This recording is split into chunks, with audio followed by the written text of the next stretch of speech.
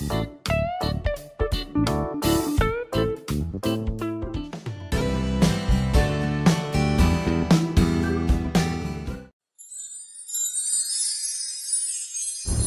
guys! Ngayon, ipapakita ko po sa inyo kung ano po yung ginagamit ko araw-araw na makeup.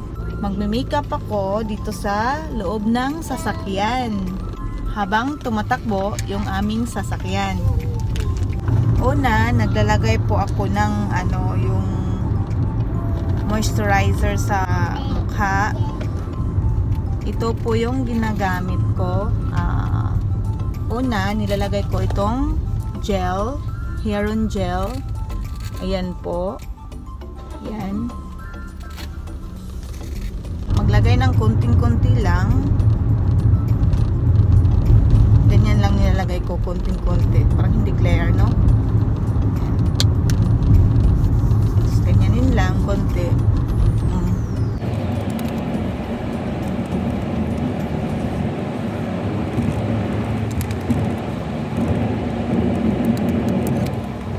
Tapos, katapos nito, ito. Yan, sit po siya. Para hindi mag-dry yung face. Lalo na ngayon dito, taglamig na ulit.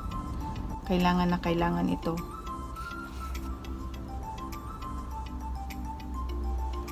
So, ganun lang din ang paglagay. Ganyan lang. Ganyan lang karami. Tapos, ganyan lang ulit.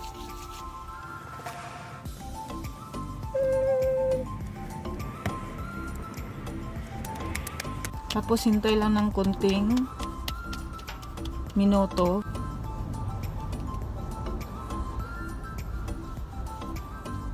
Tapos next guys, ito yung ginagamit ko. Naglalagay ako ng ano, natural natural baby cream sa aking mukha bago ako mag foundation.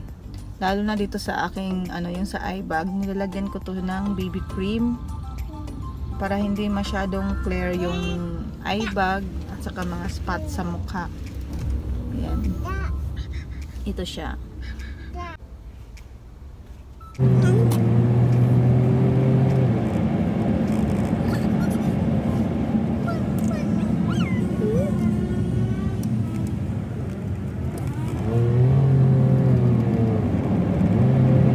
Maganda siya guys kasi ano, hindi siya yung clear, talagang mag-fit siya sa skin mo, sa, sa mukha.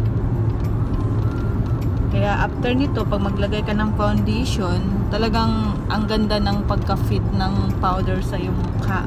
Sa Daiso ko to binibili kasi mayroon sa Daiso.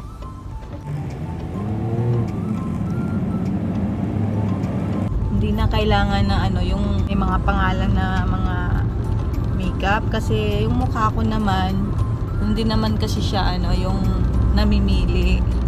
Kaya kung ano lang yung fit sa ano yung nababagay sa mukha ko yun lang yung ginagamit ko.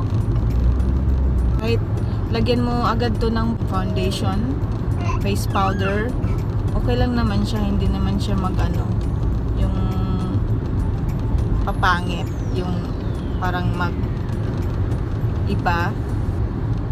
Talagang mag-fit siya sa mukha. Talagang magpipit siya sa iyong balat. Ipakita ko sa inyo yung ginagawa ko din ginagawa kong blush. Ito siya. Simple parang lipstick lang siya na kulay. So,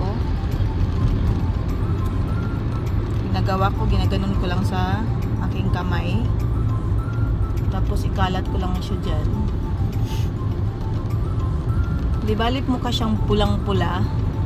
Pero mamaya pag malagyan kasi siya ng powder, ano siya, mawawala siya, mag-fade yung kulay niya at magiging natural color lang yung ano, blush.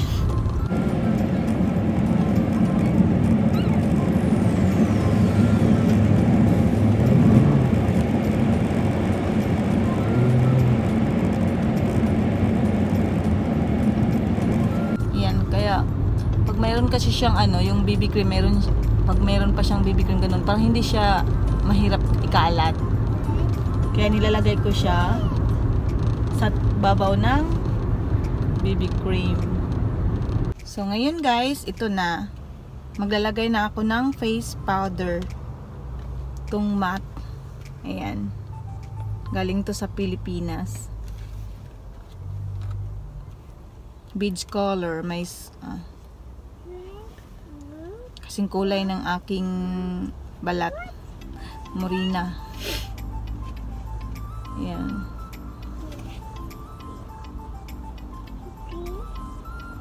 Brown, brown.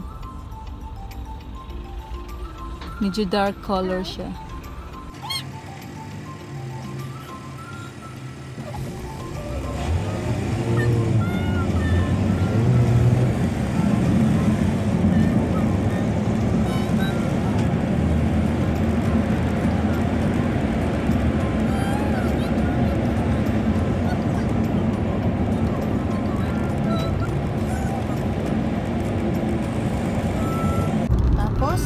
Kilay. Brown color.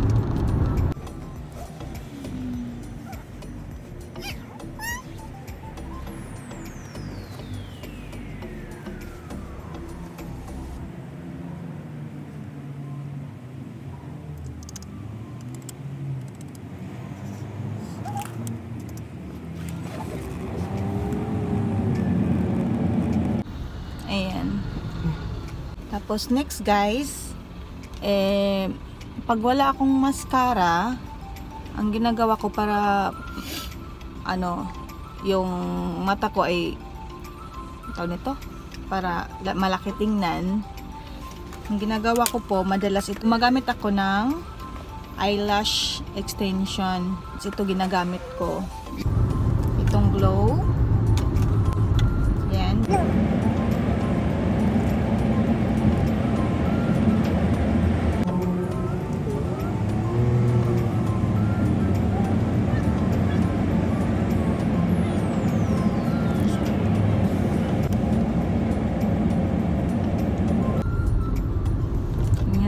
Guys. Ang bilis-bilis lang.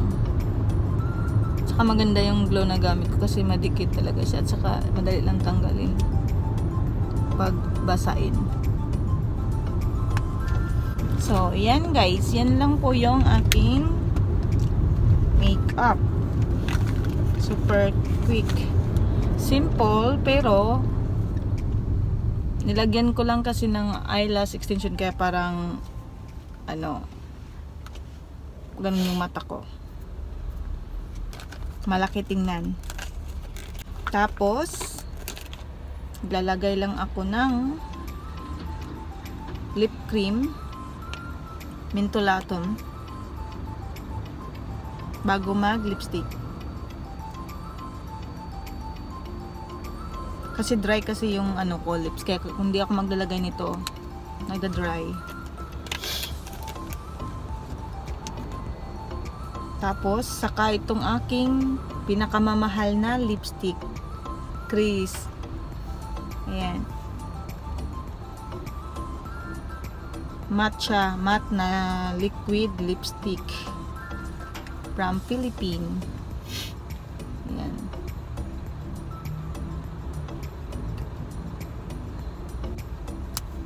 Ganyan lang.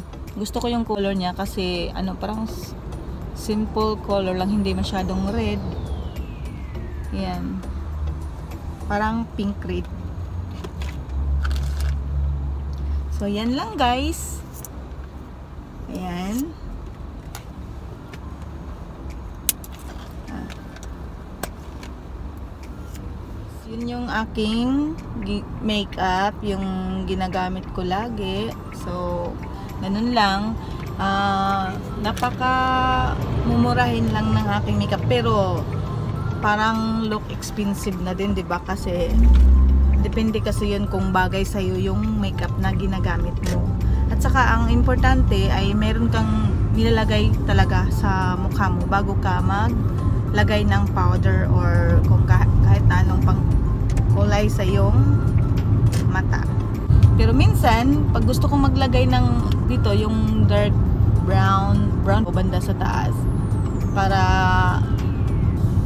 mas maano yung mata mo tingnan.